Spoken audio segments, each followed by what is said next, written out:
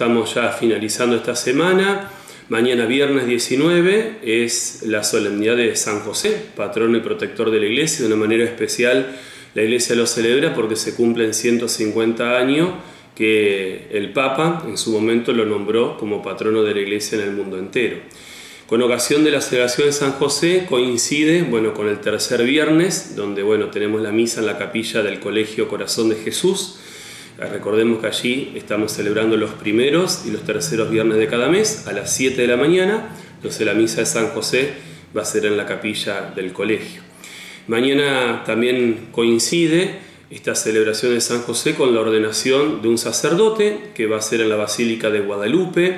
A las 19.30 horas, eh, nuestro obispo va a ordenar a Salvador Sinícola, sacerdote para nuestra iglesia de Santa Fe, invitar a la gente, si quieren ver la celebración de ordenación, por el Facebook de la Basílica nuestra ciudad de Guadalupe.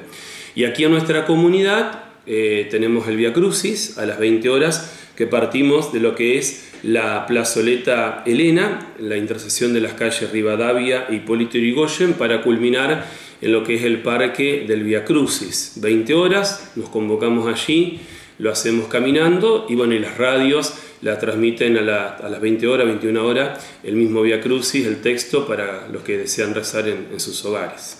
Nos estamos acercando a una eh, época muy especial para la religión católica, para la iglesia, y queríamos hablar acerca, si bien faltan algunos días ya, pero ya brindar información importante de acuerdo a lo que será la celebración de la Semana de Pascua.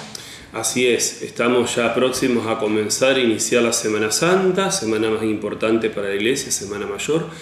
Y bueno, para esta preparación, como es habitual, tenemos las confesiones comunitarias, donde venimos y vamos varios sacerdotes a los distintos lugares.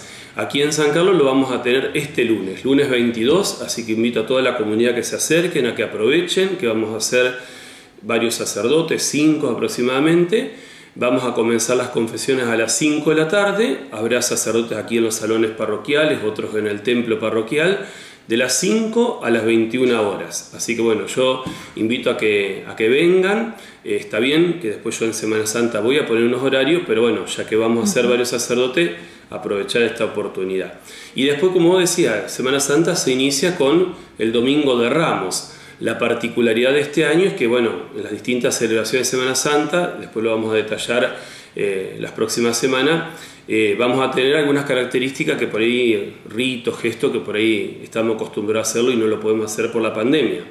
Con respecto al inicio de la Semana Santa, se inicia con ramos, ¿sí? Entonces, todas las misas de ese fin de semana, las misas del sábado y todas las misas del domingo, se van a bendecir los ramos en el inicio de la misa, ¿sí?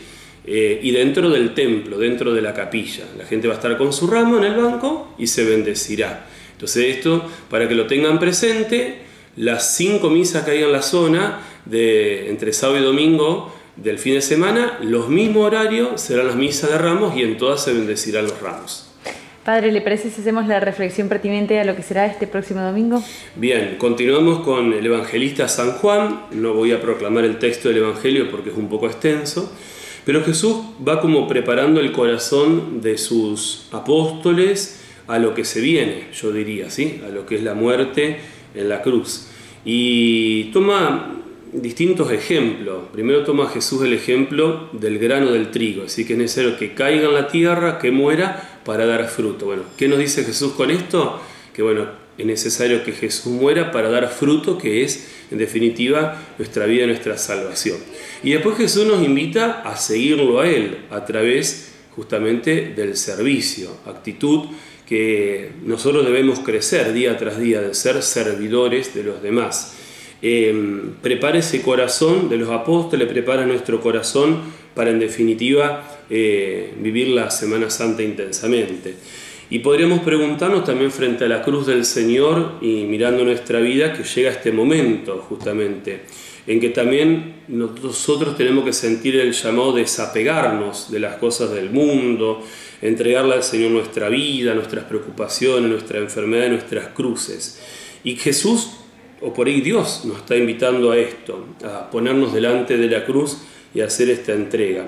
Le pedimos con mucha confianza al Señor, Señor, queremos admirar tu entrega sublime y contemplar tu amor que te coloca por encima de toda la tierra. Danos la gracia de unirnos a ti en la entrega total.